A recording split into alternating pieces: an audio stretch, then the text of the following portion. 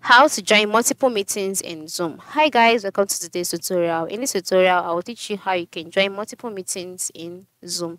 Now, I'm sure you'll be wondering if it's possible to join multiple meetings in Zoom, and my answer for you is yes, it is possible, but you have to be using the paid version of Zoom and not the free version.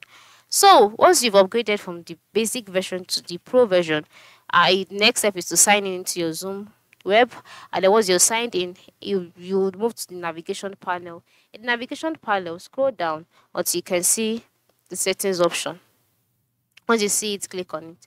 Now once you click on the settings option and once you've upgraded to the pro version of, of zoom there are certain things that would change in your um settings tab or settings option.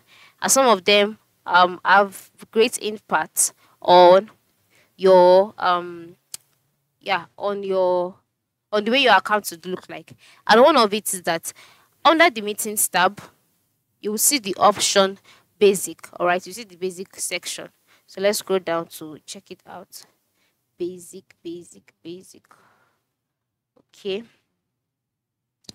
You basic section. Okay.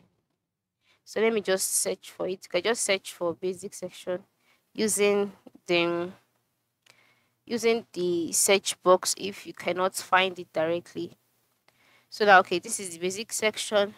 Now once you found the basic section you would see several options under it. Yeah. Okay. So basic basic basic basic. Uh -huh. so this is the basic section.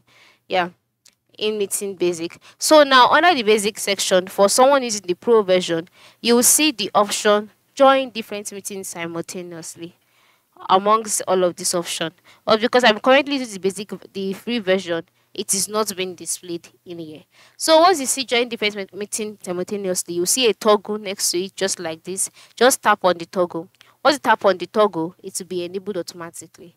All right? Once it turns blue if it's not white if it's white that means that it has been disabled once tap on it and it turns blue that means that it has been enabled. And that is how and from then onward you can be able to join multiple meetings simultaneously on your zoom account. Thanks for watching and have a nice day